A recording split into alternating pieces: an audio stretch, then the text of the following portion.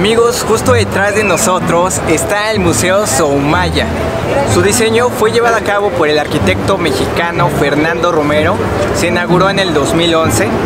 Este museo está abierto los 365 días del año. La entrada es totalmente gratuita. Además, resguarda dentro de él cerca de 70.000 obras de arte.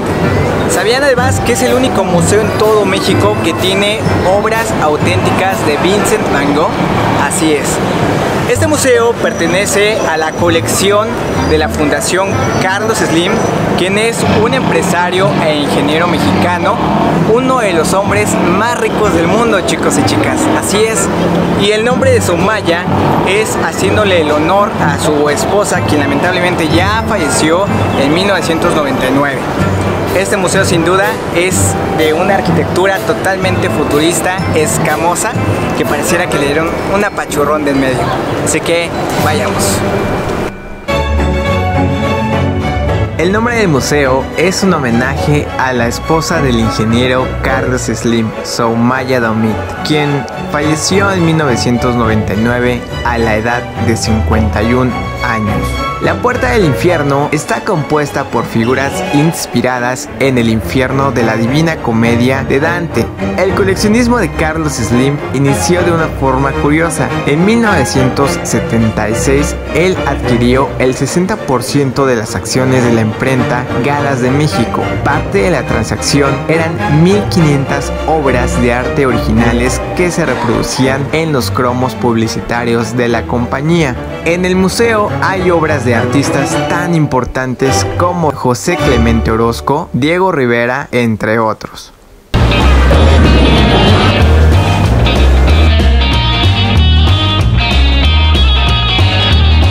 Reconocido por crear obras reflexivas, desconcertantes y lúdicas, Urs Fischer emplea una variedad de materiales y procesos que no se sujetan a una clasificación.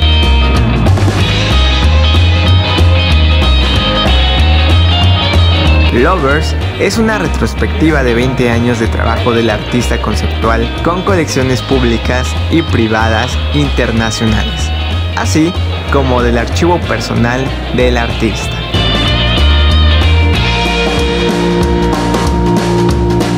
Las obras en conjunto manifiestan la creatividad, humor y profundidad de la práctica del artista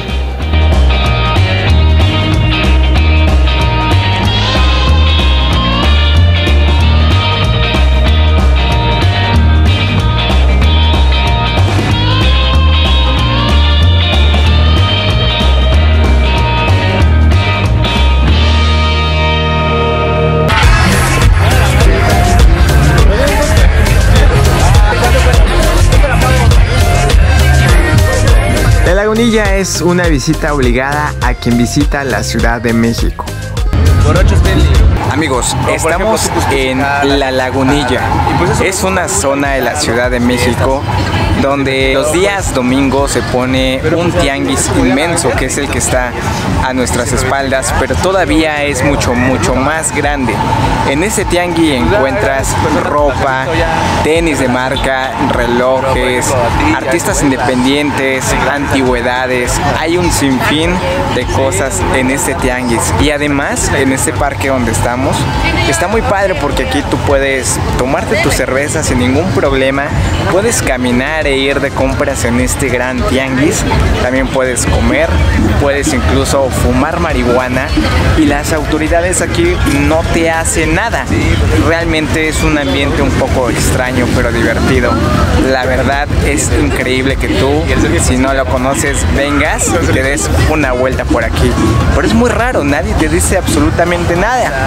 Tú vas caminando, vas de compras con tu cerveza, trago, bebida en la mano y nadie te dice nada, está súper increíble.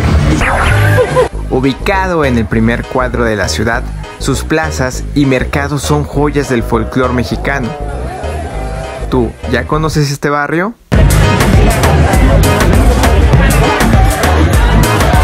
El barrio de La Lagunilla es uno de los más tradicionales y bulliciosos de la Ciudad de México Pero además de su vida comercial característica, la lagunilla es famosa por sus recintos culturales de primer orden y sus festividades de barrio siempre concurridas y animadas.